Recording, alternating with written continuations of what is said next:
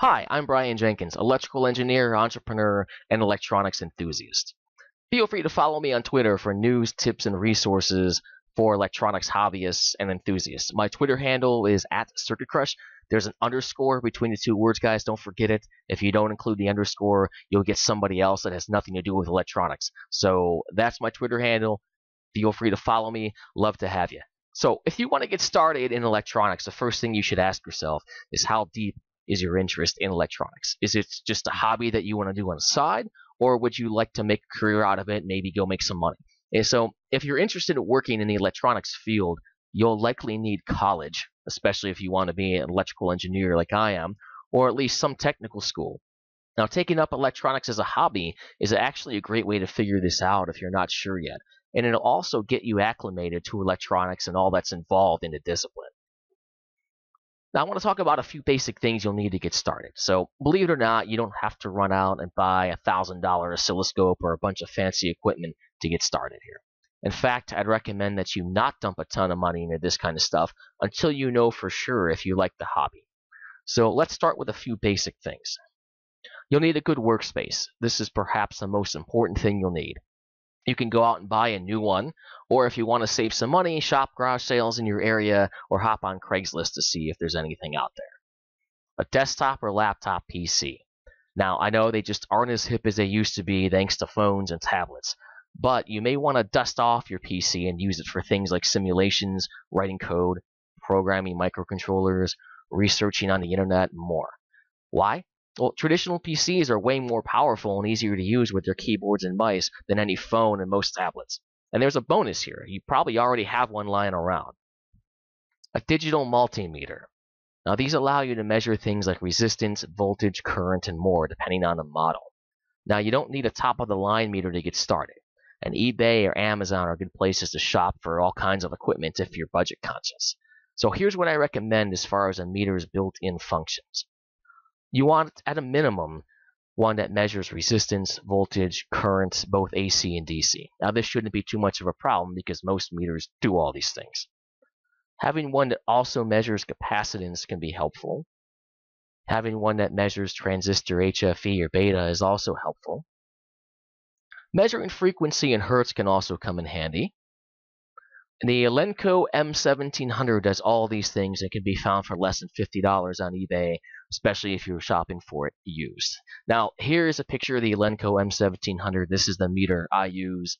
I've had it for like 16 years. It lasts. It works. I'm not getting any kickbacks from the company for recommending it. It's just the one I'm familiar with, and it has a lot of functions. Now, you'll also need a small variety of hand tools, like a Phillips and flat blade screwdriver. Magnetic tips really come in handy, so look for uh, screwdrivers that have magnetic tips you'll want to have a set of jeweler's screwdrivers. Those are the tiny, smaller versions of above for uh, working with small screws.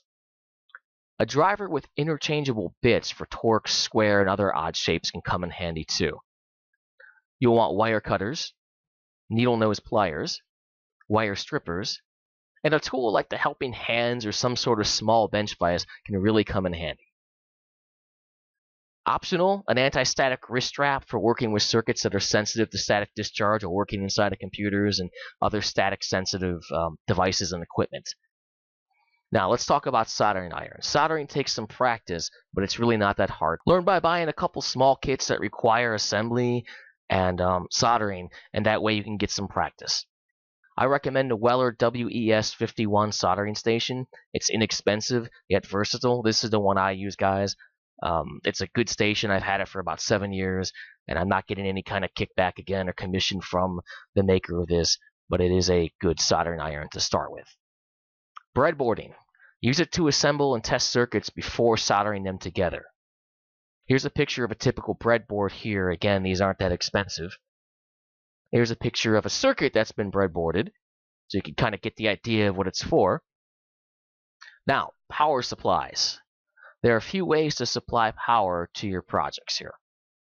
Most likely all of your projects will need a DC voltage at some point in the design, even if you're working on something that you intend to plug into your wall.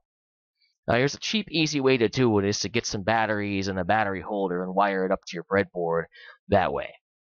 The The cons are about this is that it's harder to get the exact voltage and the batteries die. You'll have to change them. You'll go through batteries.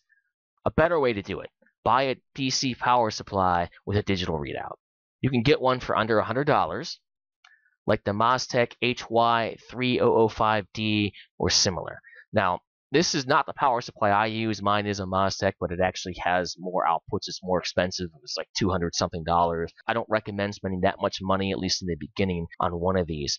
But you can see that this is um, easy to adjust, easy to read. So that's why I'm recommending it. Or for a fun first project, you could build your own DC power supply. There's tons of designs and books and on the internet.